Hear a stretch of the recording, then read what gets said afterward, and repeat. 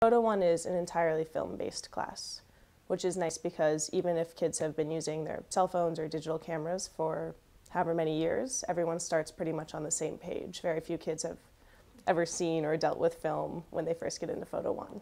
The idea of having film instead of having digital is that you don't have immediate feedback. And so you can't take a bunch of pictures and then immediately see them on the little screen on the back of your camera. It also has this strange mystery for a lot of kids of taking a picture and then they all immediately look at the back of their camera and there's nothing there.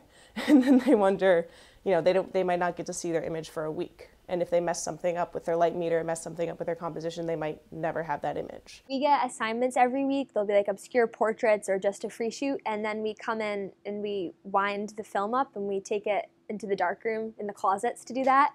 And then we have to process the film. So you put it in like a canister and go through steps of putting it with different chemicals to get it developed.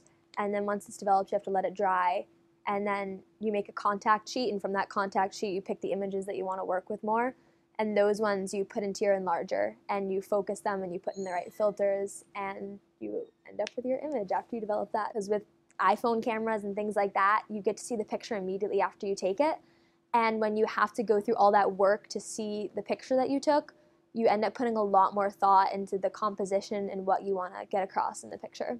It gives you this potential to tell more of a story and have a lot more thought behind it. And everything you do has to really be intentional.